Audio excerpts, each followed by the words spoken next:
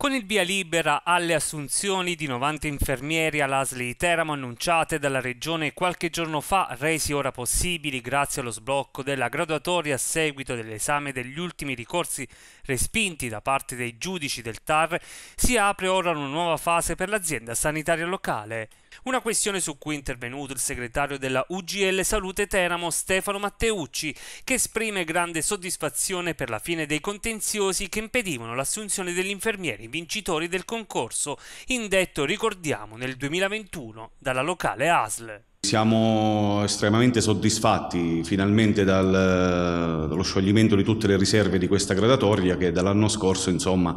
faceva un pochettino penare i poveri concorsisti. Diciamo che non, met- non entriamo nel merito della, dei ricorsi ma siamo contenti di questo passo della giustizia. Finalmente 90 persone entreranno a lavorare per merito grazie a, a un concorso pubblico svolto all'interno di questa ASL per rimpinguare un pochettino le carenze di organico. Ma ora per il sindacato il secondo obiettivo è quello di avviare il prima possibile le procedure per lo scorrimento delle graduatorie sia degli infermieri che degli OS, applicando il tanto agognato accordo regionale del rapporto 1 a 1 con la stabilizzazione dei precari Covid, in modo da migliorare ancora di più la difficile problematica legata alla carenza di personale. Diciamo che sul piano dei fabbisogni triennali c'è una carenza di personale che auspichiamo insomma l'interessamento della Regione e della ASL per sbloccare queste graduatorie concorsuali e quindi procedere allo scorrimento delle stesse, sia per gli OSS che per gli infermieri. La UGL Salute c'è, eh,